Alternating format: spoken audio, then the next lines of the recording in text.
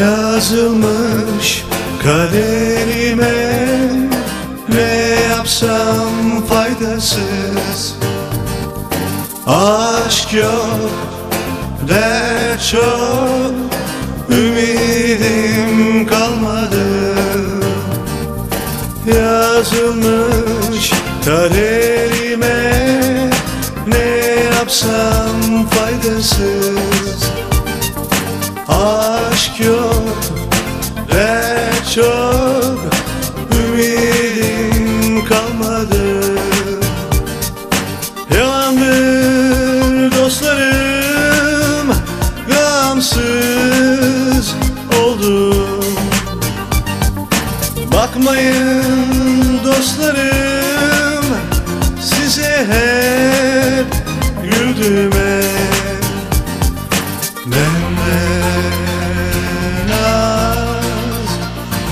Sizin kadar yalnızım. Benden çok Sizin kadar mutluyum. Benden az Sizin kadar yalnızım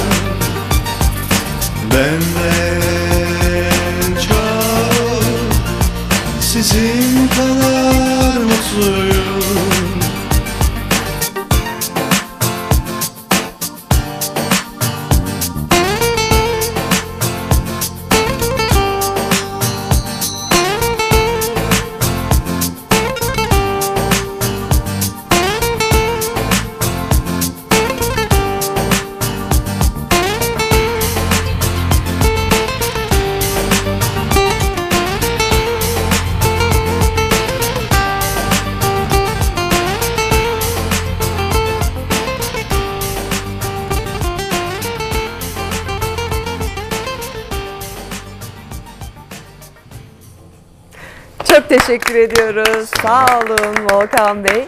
Şimdi telefon hattında bir rock'n'roll kralı daha var. Elvis'ten söz açtık ama e, Türkiye'de bizim de krallarımız var. İşte bunlardan biri Sayın Erol Büyükburç. Günaydın efendim. Günaydın güzel kızım, canım benim, güzel evladım. Teşekkür ediyorum. Nasılsınız? Teşekkür ederim. Bu arada Volkan'cıma da selamlar diyorum. Canıma benim, o güzel evladım. Erol abicim merhabalar. Sağ ol, merhaba Sizi çok Volkan. seviyorum. Günaydın. Canım, güzel evladım. Ben de seni çok seviyorum, inan.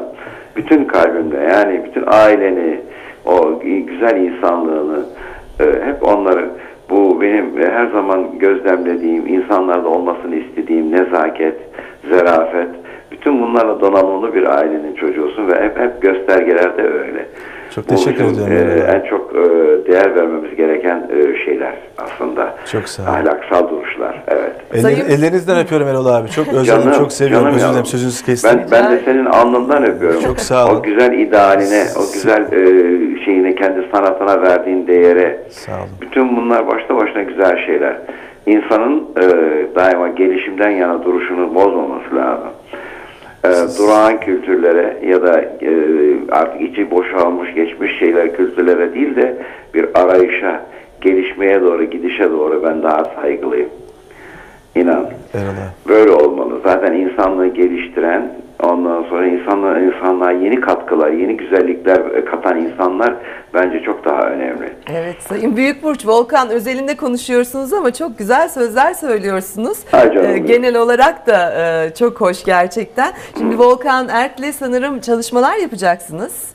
Çok. Ee, O benim e, e, yani hayatımda hayatıma kattığım önemli insanlardan bir tanesi. E, çünkü Volkan e, şimdi e, Türkiye'de e, şöyle genel şey bu işin şeyine bakıldığında yani müzik haritasına bakıldığında tabii belli kendince hareketlenen, iyileşmeye başlayan, daha gelişen şeyler, noktalar oluyor. Ama Volkan gerçekten is- istisnai bir şey var, duruşu ve çalışması var. Onun her zaman desteklenmesi ve korunması lazım.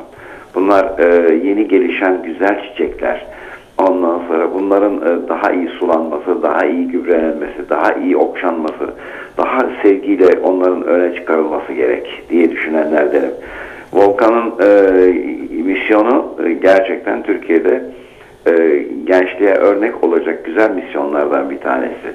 yani gelişimci ondan sonra ve daima ileriye doğru bir bakışı içeriyor. Onun için Volkan hep benim sevgime mazhar olmuştur. Ne Eyvallah hoş. abi, Çok ne teşekkür hoş. ediyorum. Yani beni Ne şereflendirdiniz. Ay canım. Sizi ne çok demek. seviyorum. Ay İltifa, canım, ben de iltifat seni ya. ediyorsunuz biraz. Elimden yani size örnek alarak başladım müziğe zaten. Canım, İyi canım ki de evladım. doğru örnek almışım. Tabii. Şimdi Aa. buradan sesinizi duymak, e, hep herkes çok etkilendi burada. Ve O- Sayın o- Büyükburcu'nun da farklı Evet. bir duruşu var. Evet. Çünkü e, gençlere destek olması adına herhalde e, bütün müzisyenlerin bunu yapması gerekiyor bir anlamda. E, Kesinlikle Sayın öyle. Büyükburç. Tabii. Şimdi e, e, yani şimdi bir, bir karşılıklı birbirini e, destekleme çok anlamlı bir şey. Yani bunu e, çok derin derinlikli yapmak lazım. Şimdi Volkan'la olan e, duruşumun bir başka birkaç versiyonu var. Nusret kardeşimle bir başka konuyu işliyoruz. Bir Ne diğer kardeşimiz var. Birçok kardeşlerim var ama Volkan tabii en başta gelenlerden en, en çok sevdiklerimden bir tanesi. Sağ olun. Ee, ve bütün ailesini, onun insan sevgisini falan her şeyin, her duruşunu çok takdir ediyorum. Yani bir konserime e, e, intikal etmişlerdi Ankara'daydı güzel kızım. Orada bir çocuğuna karşı duyduğu sevgiyi o kadar güzel ortaya koydu ki o özgürlükçü şeyini, iklimi oluşturuşu karşımda hiç gözümün önünden gitmiyor. Evladının omzuna alışı, onu böyle gezdirişi, onun onunla şakalaşışı. Ondan sonra e, bir müzisyenin zaten olması gereken en derinlikli duruşundan bir tanesi de bu olmalı. İnsan sevgisi bakımından çok zengin olmalı. Yani Çok ne sağ olun sizin gibi Erol abi, yani ustaların evet. da sahip çıkması E- evet. çok güzel gerçekten. Evet. Sayın Büyükburç sizin albüm çalışmalarınız var mı? Ee, Bu ara, bu ara ben 15 tane konu üzerinde yoğunlaştım. Hepsinin demolarını hazırlıyorum. Ee, Erol Büyükbuş külliyatı olarak. Yani bu külliyat. Türk, e, Türk popuna eklemlenmesi gereken önemli konuları içeriyor. Volkancıma da anlattım onu defalarca. O, e, Volkan Evet, e, belki bazı konularda görev e, ve üstlenmesi gerekecek. Evet. E, Türk popu yeniden yapılandırılmalı. Yani bu yeni eklemlendirilecek konular Türk popuna zenginlik getirecek. Yani onu daha e, e, e, gençlerin daha çok kullanacağı bir zemine dönüştürecek. Şimdi e, mesela Türkümanya var. Türkümanya türküleri 10 dilde söylemek anlamına geliyor. Bu başlı başına büyük bir alan. Yani Türk kültürünü dünyayla buluşturmak gibi bir e, şeyi soru- sorunu e, içeriyor. Yani bu- bugüne kadar ihmal edilmiş bu hareketi mutlaka e, bütün e, benim sevdiğim evlatlarım hepsi bunları alıp bu bayrağı götürmeleri lazım. Dünyanın her yerinde görün yani görünmelerini, dünyanın her yerine bu kültürü taşımalarını istiyorum. E, bu bir misyon olmalı. Evet bu konuda da destekçisiniz yani. Hem de nasıl. Hepsine yani e, tabii en derin des- destek manevi desteğim. Hani mad, maddi konuya gelince onlar zaten gereksiz şeyleri yok ama yani gerekirse her türlü desteğe hazırım yani onlara. Ama manevi destek en önemli Tabii. destek olsa Tabii. gerek. Ne güzel bir program yapıyorsunuz. Ne, ne soylu, ne hoş. Çok sağ olun, teşekkür yani ederiz. Ses tonunuzda o incelik, o zarafet. Ee, yani bu biraz e, e, alt kültür göstergeleri içermeyişi biraz daha bizim kendi kültürümüzün en güzel resmini ortaya çıkaran bu tür- çalışmalar e, yani, e, medyayı zenginleştiriyor. Yani ihmal edilmişlikleri ortadan kaldırmak lazım. Dün Erdener diye bir arkadaşım vardı. Necdet Koyutürk'ün oğlu. Onunla beraberdik. Mesela o tangoları koruma altına almış vaziyette. Öyle ben de mi? onun destekçisi oldum. Ne yaptım biliyor musunuz? Ee, e, Necdet Koyutürk ustanın e, bütün bestelerini seslendirdim. Bana verdi o görevi. Ee, ve böylece e, ustaya saygı aldı altında üç tane CD çıkaracak mesela. Bize şöyle biraz mırıldanabilir misiniz? Ee, Bütün tangolar yani Necdet Koyutürk deyince aklımıza neler gelmiyor? Papatya mı gelmiyor? Ondan sonra e, aklınıza gelebilecek işte dinle sevgili dinlemi gelmiyor. Şimdi hatta şöyle bir şey yapsak Sayın Büyükburç. Evet. Volkan Bey de size burada eşlik etse, siz de oradan biraz mırıldansanız. Ay canım ne demek memnuniyetle. Çok teşekkürler. E, Yani buradan e, ben tabii e, biraz ekran ekranı ekranı görmüyorum ama Öyle telefonla mi? buradan her şeyi Tamam. duyumsuyorum. Eğer Ankara'ya gelirseniz Hı hı. e, bekleriz programımıza ya da biz de İstanbul'da sizi ziyaret ederiz. Tabii tabii ne demek? Ee, şimdi bu ustaya saygı başta başına bir güzellik. Yani başta başta tangoların ha, e, ortaya tekrar e, çıkarılışı. Çünkü Cumhuriyet döneminin önemli bir kültürel parçasıdır. Evet. Yani bunu bunu artık e, e, yalnız e, fantazilere, arabesklere teslim etmemek lazım kültürümüzü.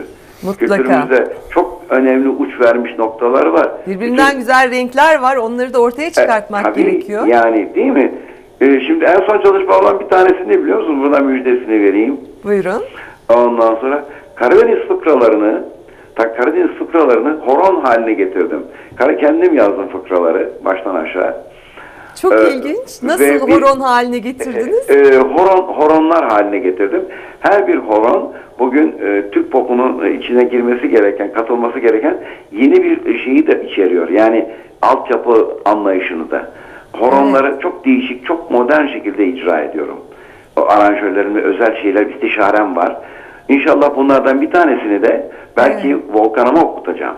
Ne hoş. İnşallah. Ya yani duyuyorum Birbirinden güzel sürprizler yaptınız Evet, Volkan teşekkür yani bu çeşitleniş, bu renklenişi Evet. hep e, büyütmek lazım.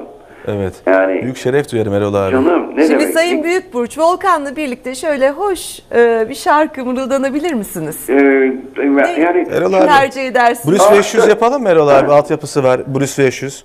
O yani e, tabii yapalım ben, ben girişini yapayım. Gerisini sen getir. Tamam o zaman. Ha, o da peki e, ne, ne, ne ton? Sen sol majör mü? Ne, ne? Birazcık. Ha? Ee, do galiba. Do mu? Peki olsun. Onu, o, e, bana bir gitarla rınk dersen şöyle bir do, mi sol. Girişte brink var Erol abi. Tamam, ses veriyor zaten öyle bir altyapı. Öyle mi? Evet. Evet buyurun. Ha. Başlayalım. İsterseniz ben gideyim Erol abi sonra beraber gidelim. Peki e, olur. Ben hatırlamaya çalışayım. Bir dakika. E, bazen e, e, hemen hemen girmeyeyim. Bir dakika. Tamam. Canım benim o zaman Güzel Erol abi. bende de bir Ute, Ute şey yengeme de çok selam söylüyorum. Ee, aynı şekilde canım benim aile, e, eşine, e, bütün aile efradına, abine buradan sonsuz sevgilerimi lütfen iletin. Ee, e, e, Sabah sabah sizi zorlamış da olmayalım Sayın Büyükburç. Efendim? Bu saatlerde şarkı söylemek zordur. Sizi zorlamış olmayalım. Ay, yo yo yo. Çünkü sesim e, sesim şu anda evet. Ee, sesim tabii da yeni kalktım. Hani Çok biraz- haklısınız. Ha? Ya çok haklısınız. Sizi zorlamayalım E, isterseniz. esta- estağfurullah. E, Ucundan e, şöyle beraber, Tamam. şeyle beraber. bir dakika. Bir toparlanayım şöyle. Tabii oradaki Biz yakaladık böyle sabah sabah şeyin, sizi. e, şeyin akışını Evet buyurun. Volkan Bey herhalde hatırlatacak. öyle. Heh, Buyurun. Bir dakika. Telefondan da hiç şarkı söylemiş Evet. miydiniz? ta- tabii tabii tabii ben ha- hazırım. Tamam. Buyurun. Vol- Volkan girsin. Tamam. Erol abi girebilir miyim? E, gir canım. Heh. Where's the money for the money? Do for the show. Big and red up again. Why don't you sell my blue suede shoes? Yeah, do the day. Where's all my blue suede shoes? Well, you can knock me down, step in my face, slander my name all over the place. Do anything that you want to do, but I lay off my shoes, but don't you? Sell my blue suede shoes. Güzel. Yeah, do the day. Where's my blue suede shoes? Well, blue, blue, blue suede shoes. blue, blue, blue suede shoes, blue suede shoes, baby. Blue suede shoes. Yeah, do the day. Where's all my blue suede shoes? Give me, give me, give me. Ah, blue, suede shoes. Ay canım benim. Blue, blue, blue suede shoes, baby. Blue, blue, blue suede. Yeah, do the day. Where's all my blue suede shoes? Oo harika. Sayın Büyükburç biz Ben teşekkür tabii ediyoruz. şey, e, ritmi tam duyamıyorum, edemiyorum. Yani kontraya girelim diye böyle bir mütereddit duruşlarım oldu ama olsun. Bizi kırmadınız. Öncelikle onun için teşekkür ediyoruz. Çok sağ olun. sağ Rica olun. ederim. Hiç Renk var olun. kattınız programımıza. Ne demek? Ee, çok teşekkür ediyoruz. Ankara'ya geldiğinizde mutlaka e, bekliyoruz programımıza da. Ben e, o zaman e, sizin telefonunuzu alırım şimdi. Tabii ki, Ondan çok sonra memnun oluruz. telefon ederim. Yani buradayım, Ankara'dayım diye. Hani sizi es geçmemiş Çok söz memnun oluruz. için Mutlaka uğramak isterim güzel dostlarıma. Çok teşekkürler bir Çok sağ kez olun daha. Abi. Sağ. Çok teşekkür İyi ediyorum. günler diliyoruz size. Hoşçakalın. Sağ olun. Güzel dostlarıma ben de buradan sevgiler, saygılar hepinize. Hoşça kalın. İşte hoşça kalın. Sağ olun. Çok mersi. Sağ olun. abi. Evet Sayın Büyükburç çok güzel sürprizler de Ha, e, heyecanlandım, verdi size. evet. Ne hoş. E, birlikte yeni projeler e, Evet. yapabiliriz dedi. Evet. E, horon Büyük çok ilginçti. Öyle evet? Erol abini çok e, e, yakından Temel tanımak lazım Erol oluşan. abi. E, hakikaten yani bir sanatçı denilecekse Erol Büyükburç tam bir sanatçıdır. Yani heykeltıraşlık yanı vardır.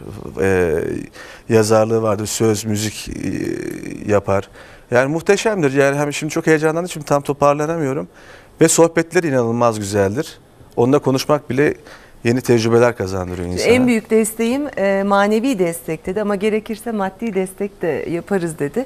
E, şimdi iş camiasında da böyle değil midir? Yani kişi manevi bir e, destek arayışında değil midir? Her şey yeni başlıyor. Genç diye zaten e, biraz şöyle arka plana itiliyor. O sırada böyle e, işinde başarılı, e, güçlü birisi sen yaparsın diye sırtını sıvazladığında her şey değişebilir mi? Ee, değişir tabii e, maneviyat çok önemlidir ama azıcık da olsa maddi destek de önemli. Az mı? İş, İş, dünyasında biraz fazla hatta. Ee, evet. Ama bu desteği aldıktan sonra en azından bu finansları nasıl sağlayacağı konusunda e, daha hırslı devam edemez mi kişi? Yol göstericilere mutlaka ihtiyaç var. Tabii bu e, eski abilerimizden olursa daha iyi olur ama sivil toplum kuruluşları da e, genelde bu işe yarıyor zaten. Evet. Yol göstermek için işte nerelere müracaat etmek lazım, nasıl yol, yol kat etmek lazım. Biz de bunlar için varız. Mutlaka. Şimdi Genç İş Adamları Derneği üyeleri olarak size şöyle bir soru sorayım. Genç olmaktan dolayı sorunlarla karşılaştınız mı? Ee, bu soru genellikle bize çok sorulan bir soru. Genç olmaktan dolayı tabii ki arada bir sorunlarla karşılaşıyoruz. Yani güven problemi müşterimizden bize e, güve- güvenemiyor ilk başta. Sonuçta genç bir insan yapabilir mi, yapamaz mı diye merak ediyor.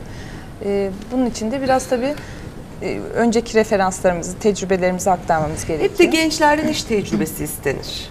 Evet. Ama nasıl yapacaklar o iş tecrübesini? Evet. İşte e, maalesef e, anlamsız buluyorum. iş ben adamları e, hem tecrübe istiyor hem de tecrübe Burada vermiyor. Bir, burada bir araya girelim. Aslında en iyi e, yol bu konuda üniversite zamanında kat edilen. Hmm. Çok iyi değerlendirilmesi Bu zamanda gerekiyor. eğer e, staj yapabilirlerse ki zaten birçok üniversite buna yol açıyor ama bazıları işte e, yapmayalım sadece imza usulü bu işi e, yapmak istiyor. E, bazı üniversitelerde buna göz yumuyor. Göz yumunca tecrübesiz oluyor.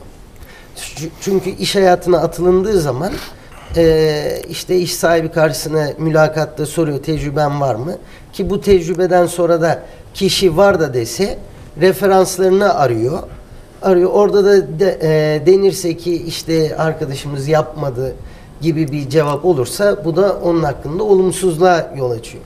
Bunun için bir eee, gence en büyük tavsiyemiz üniversite zamanında staj yapmaları hatta onun dışında çalışabiliyorlarsa da çalışıp e, yol kat etmeleri. Üniversite sırasında hem okuyup Tabii. hem çalışmaları, stajlarını çok çok dik- e, ciddiye almaları e, konusunu e, öneriyorsunuz. Böyle Dikkat yaparlarsa başarılı bir öğrenciden de daha ileriye gitmiş İleriye olurlar. gidebilirler.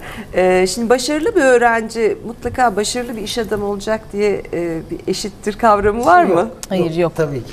Yok. Öyle bir kavram yok maalesef. Yani lise Maalesef. birincilerinin e, üniversiteyi kazanmadığı, üniversite birincilerinin çok başarılı iş adamı olmadığı örnekleri de e, günümüzde var. Ben e, genç olmanın dezavantajından bir örnek vermek istiyorum. Kendi yaşadığım bir örnek. Bundan yaklaşık 5 yıl önce e, bir altyapı işi almıştık. Bir makine alacaktık. E, makinayı satan arkadaşla telefonda konuştuk. Bütün şartları e, anlaştık. E, yani yüzde Sizi görmedi. Evet yüzde yirmisi peşin geri kalanı da işte çekle ödeyeceğiz diye. E, gittik yüz yüze görüştüğümüzde yaşlı bir beyefendiydi. Yüz yüze görüşünce bir ortağım vardı. O da benim yaşımda. Ben üniversiteden arkadaşım. E, biz bu çekleri alalım ama teminat mektubuyla destekleyelim. E, diye bir cevap aldık. Ondan sonra da ben e, mümkün ise eğer e, kendim ön plana çıkmadan şirketteki en yaşlı arkadaşları Gönderdiniz. göndererek ya da yani- telefonla işlerinizi Evet hallettiniz. yani hakikaten e, bazen e, olumlu olmasına rağmen bazen de böyle e, olumsuz yönleri olabiliyor. Aslında gençleri tercih eden şirketler de çok olabilir. Hani daha e, dinamik bir yapı oluşturulması adına, daha hırslı, Teknoloji, evet. agresif bir yapı oluşturulması Yani adına. genç e, işe alınırken o öyle de mesela yaşlı insanların e, sahip olduğu şirketler kurumlaşmamışsa eğer e, biz onlara göre e, daha hızlı, daha atak e, şirket sahibi olarak e, ön plana çıkıyoruz. Fakat e, iş alırken işe alırken de genç almakta bir problem yok. Ama genç iş adamı olarak e, bir alışverişte olmak büyük projeye zor. imza atarken e, büyük alışverişlerde karşıdaki insan şöyle bir Geri çekiliyor. düşünüyor. Yani tedbirlerini biraz daha fazla almaya İki çalışıyor. kere düşünüyor. Evet, belki bir evet. kere Bunu düşünecek. bunu hakikaten ben yaşadım bu, bu örneği. Evet. Ee, peki genç, e, yine gençlikten devam edelim. E, karşılaştığınız zorluklar oldu mu başka? Ee, yani bayan olmaktan dolayı Ya işi kurarken olabilir, Zor. hem kadın olarak e, Ee, karşılaştığınız zorluklar da olabilir ya da olmayabilir. Yani açıkçası cinsiyete dayalı bir çok ayrımcılık olduğunu ben kendi adıma söyleyeyim çok şahit olmadım. Ne mutlu o Ee, zaman hepimize. Yani evet ki sektör olarak ben sözlü kesince ki ben bayağı erkeklerin hakim olduğu inşaat sektöründeyim. Ben de bayan olarak çok fazla bir ters tepki görmedim. Evet. Ama sonuçta olabilir ve e, bunu ben yaşamadıysam başkaları da yaşamamış demek değildir. E, o anlamda da kadınların bir arada toplanması gerektiğini düşünüyorum. E, çeşitli kadın derneklerinde bu amaçlarla kurulduğunu biliyorum. E, ve onları da çok destekliyoruz. Biz e, kendi derneğimiz içinde de bayanlar e, toplanıyoruz.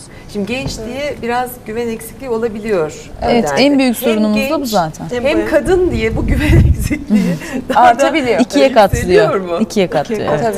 Yani çevreniz siz yaşamamış olabilirsiniz ama e, çok iletişim halinde Yaşayan olduğunuz arkadaşlarımız var. arkadaşlarınız Var. vardır. E, bu konudan müzdaripler mi? Bayağı.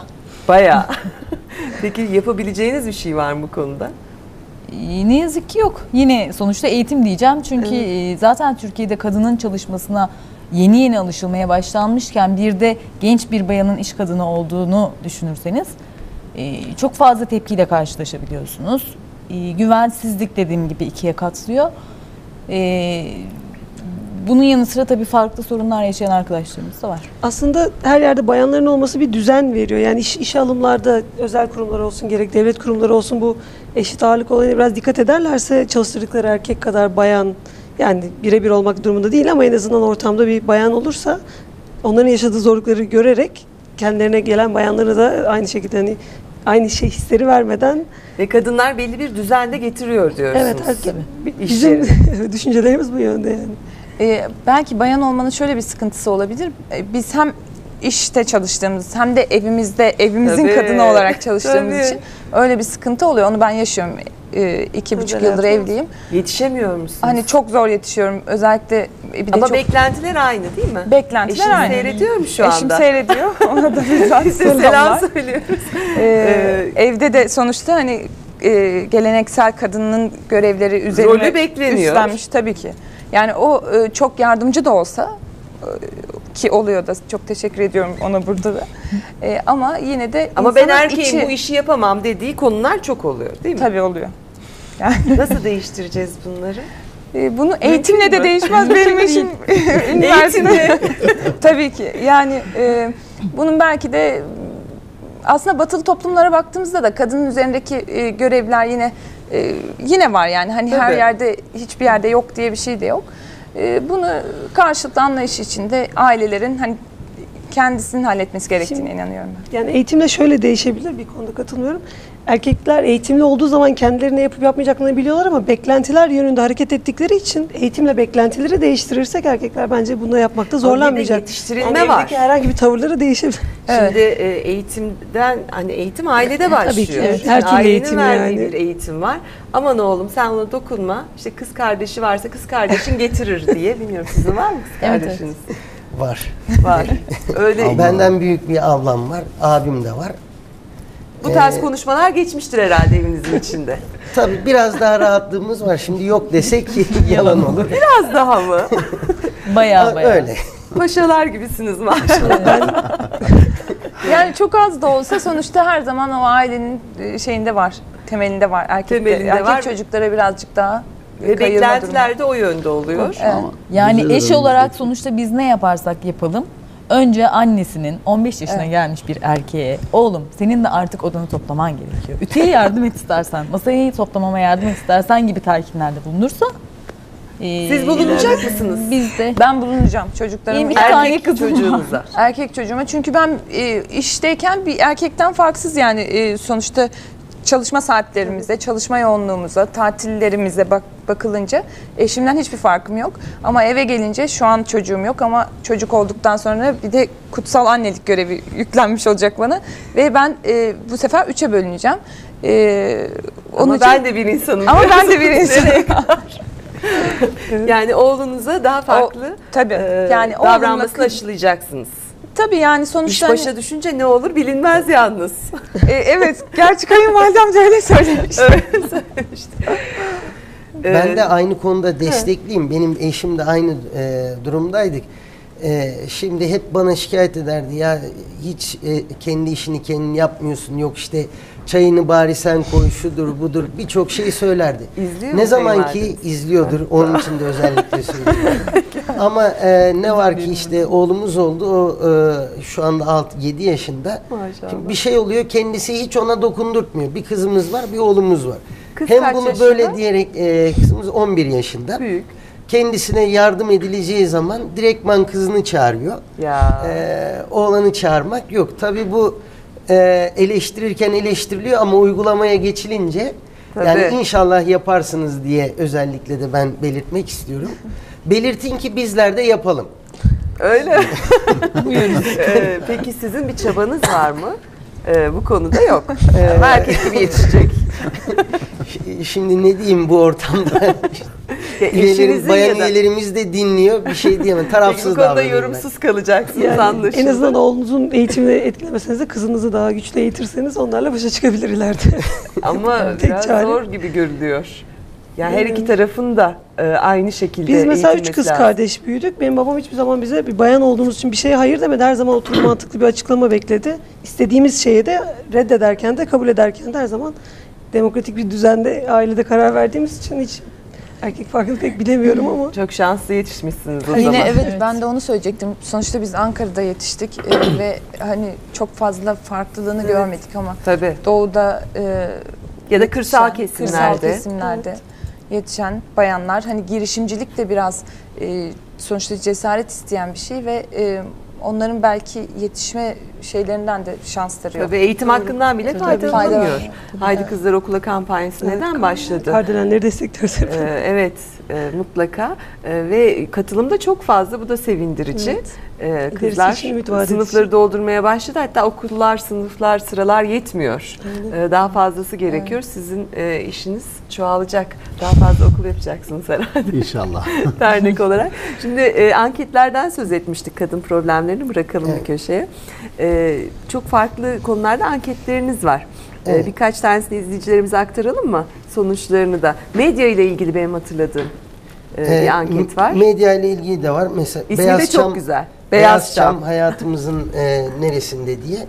E, burada da biz şunu gördük ki insanlar çoğunlukla e, özellikle magazin programlarını yani biz burada özellikle genç daha doğrusu e, bu e, anketi biz gençler üzerinde yaklaşık yaşa 2000 kadar? 2000-2200 kişi üzerinde yaptığımız Genç derken yine 49 ee, yaş Yok, mı? 35 yaşın altında. 35 yaş Aa, altı. e, Özellikle de 18 15-25 yaş arası da e, bunun %60'ını e, kapsıyor bu 2200 kişinin. E, %55'i erkek, 45'i bayan olarak. Yaptığımız araştırmada şunu gördük ki gençlerin çoğunluğu magazin seyrediyor. Yani haber programlarına e, yoğunluk %15 kadar. E, %15. magazin programlarına ise 60. Demin de belirttiğimiz gibi e,